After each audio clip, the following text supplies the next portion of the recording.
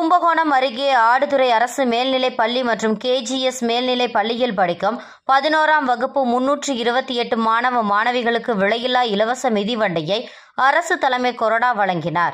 கும்பகோணம் அருகே திருவிடைமருதூர் தாலுகா ஆடுதுறையில் உள்ள கேஜிஎஸ் மேல்நிலைப் பள்ளியில் பதினோராம் வகுப்பு படிக்கும் மாணவ மாணவிகளுக்கு விலையில்லா இலவச மிதிவண்டி வழங்கும் நிகழ்ச்சி பள்ளி வளாகத்தில் அரசு தலைமை கொறடா கோவிச்செலியன் தலைமையில் நடைபெற்றது. தொடர்ந்து பேசுகையில் தமிழக அரசின் சார்பில் கடந்த இரண்டாயிரத்தி ஒன்றாம் ஆண்டு முதல் தொடர்ந்து பதினோராம் வகுப்பு பன்னிரெண்டாம் வகுப்பு பள்ளிகளில் படிக்கும் மாணவ மாணவிகளுக்கு இலவச சைக்கிள் வழங்கும் திட்டம் செயல்படுத்தப்பட்டது.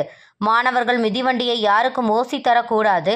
மிதிவண்டியை துடைத்து சுத்தமாக வைத்துக்கொள்ள வேண்டும். மாணவர்கள் உயர்கல்விக்கான வழிபாட்டு வகுப்புகளில் பங்கேற்க வேண்டும்.